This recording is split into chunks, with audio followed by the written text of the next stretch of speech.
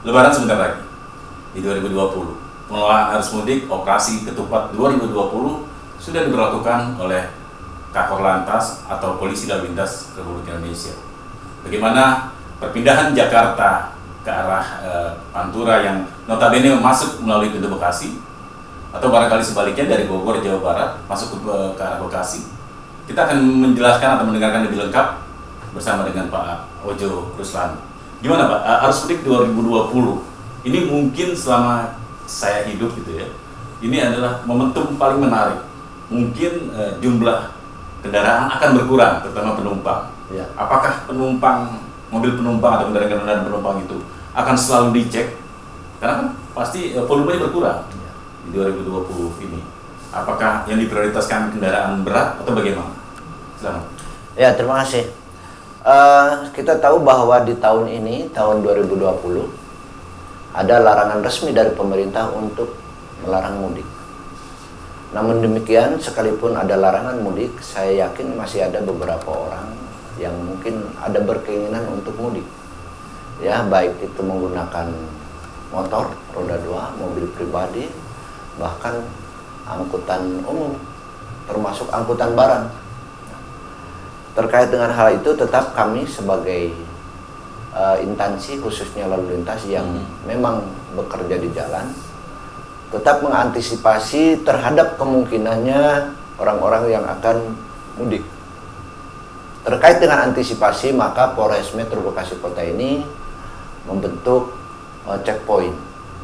Checkpoint di kita yang menjadi fokus bagi mereka yang mudik yaitu ada empat ya tiga yang utama pertama di Bantar Gebang kemudian yang kedua Sumber Arta yang ketiga adalah di Medan Satria dan yang terakhir yaitu di eh, Terminal Induk Kota Bekasi. Karena kita juga perlu memantau pergerakan kendaraan-kendaraan umum yang dari terminal. Maka kita tempatkan juga di Terminal Induk ini eh, satu eh, pos pengamanan. Hmm. Kemudian terkait dengan bagaimana pemanfaatan checkpoint yang ada yang sudah dibentuk oleh eh, Polres Metro Bekasi Kota, salah satunya adalah memeriksa setiap kendaraan, baik motor, mobil yang terindikasi eh, akan mudik. Sekaligus tempat itu juga digunakan oleh kita sebagai checkpoint pemeriksaan pembelakuan PSBB Kota Bekasi maka kita sebagai petugas di lapangan harus apal betul terhadap trik-trik yang dilakukan oleh mereka. Ada aja tuh Pak. Ya, ada aja. Karena kita juga kan bagian dari masyarakat yang dulu pernah mudik juga. Siap. Ya, baik pakai motor, pakai mobil, kita juga pernah mudik. Uh, salah satunya kita lihat dari cara membawa barang-barang bawaannya, Oh gitu kan. Terlihat tuh Pak ya.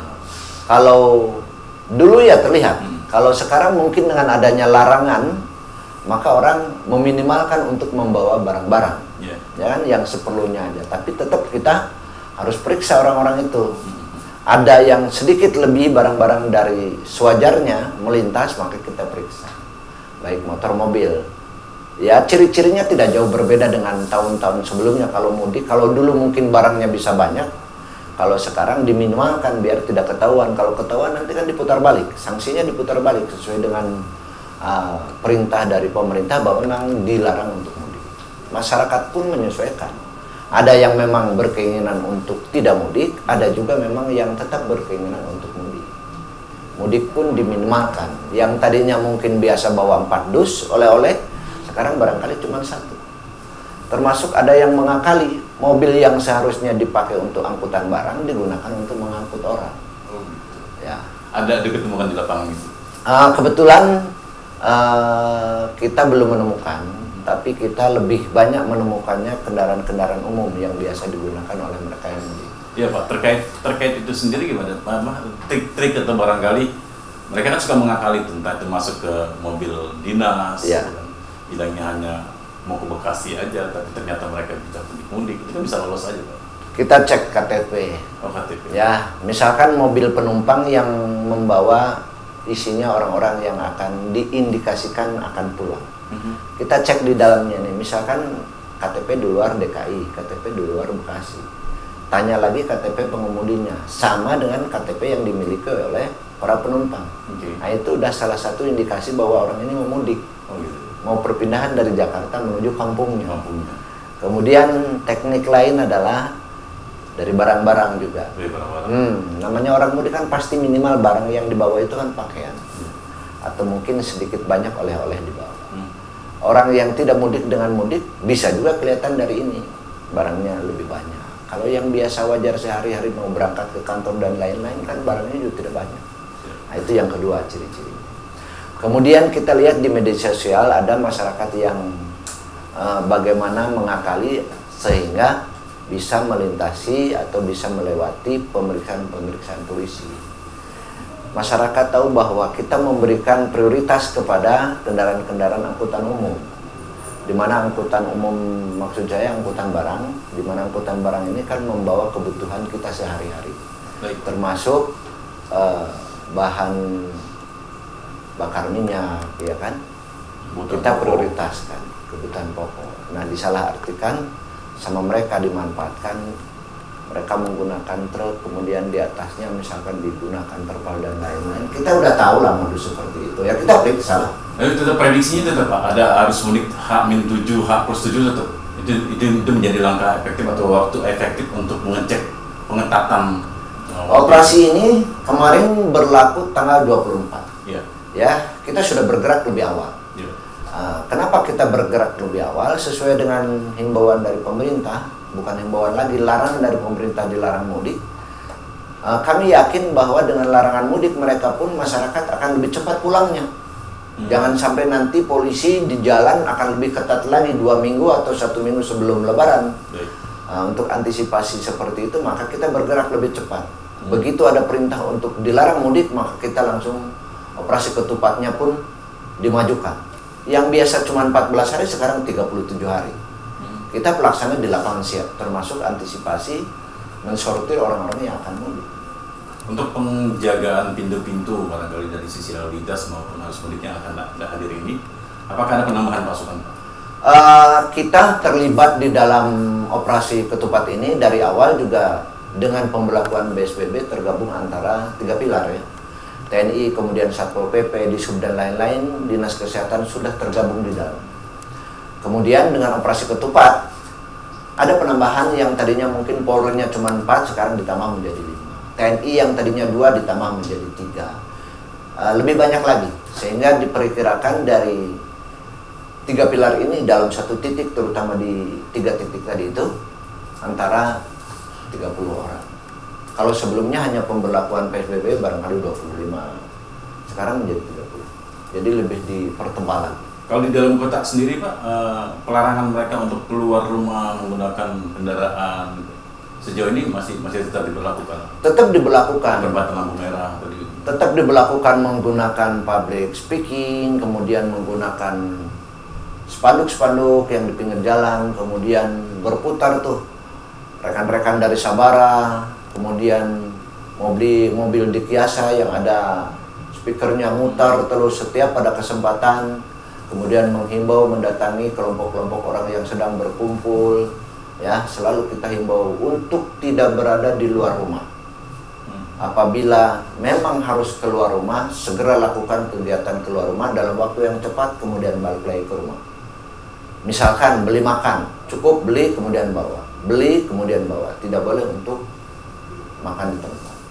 Apalagi untuk berkerumun nyantai-nyantai ngobrol-ngobrol sudah pasti kita datangi di halo-halo di woro-woro untuk segera membubarkan diri Di masa COVID ini tilang masih berlaku. Eh, pemberlakuan tilang kita tidak ada Tidak. maka kita ganti dengan teguran tertulis Oh, teguran. teguran tertulis yang tidak ada hubungannya tadi saya sampaikan dengan besaran denda dan lain-lain tidak ada jadi ini sifatnya non justisia Terakhir Pak, eh, soal pintu-pintu tikus yang digunakan eh, pemudik, terutama barangkali dari BKT, Ya. namanya di Karawang Timur Ya. ada, kemudian dari daerah Cilengsi, Ya. Cibubur juga masuk. ya Itu disiap-siagakan penjagaan polisi lalu lintas atau barangkali Ya. pulang. kita bekerja sama dengan fungsi lain dalam hal ini Sabara Oke. kemudian polsek-polsek juga digerakkan kita mengidentifikasi atau memetakan mana biasanya titik-titik yang biasa dijadikan eh, jalan tikus kita udah tahu juga maka kita juga eh, tutup jalan-jalan itu Hmm. ya kita bermain dengan orang-orang polsek ya sabar polsek kita turunkan polres juga kita turunkan untuk mengantisipasi penggunaan jalan tikus ini digunakan oleh mereka yang mau mudik. Terakhir Pak, monggo diperkirakan untuk memberikan himbauan Ya. kepada masyarakat. Oke.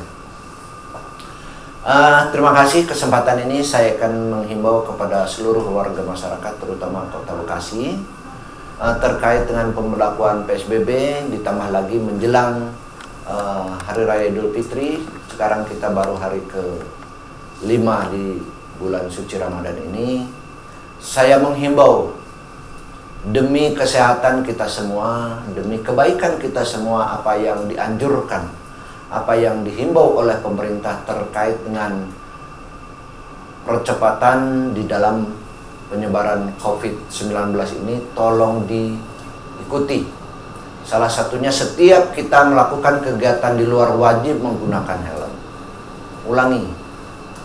Baik motor maupun mobil ya uh, penggunaan masker itu sangat bermanfaat buat kita. Jadi sekali lagi saya mengimbau gunakan masker ketika kita keluar dari rumah. Kemudian yang menggunakan motor jangan lupa kelengkapan lainnya.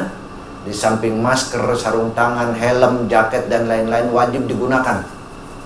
Kemudian terkait dengan kegiatan-kegiatan sosial, peribadatan, kemudian budaya dan lain-lain juga diminimalkan.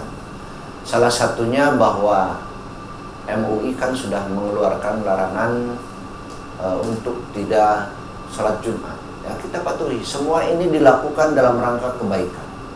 Di dalam rangka mempercepat eh, dari penyebaran virus corona 19 ini agar cepat berlalu. Ya.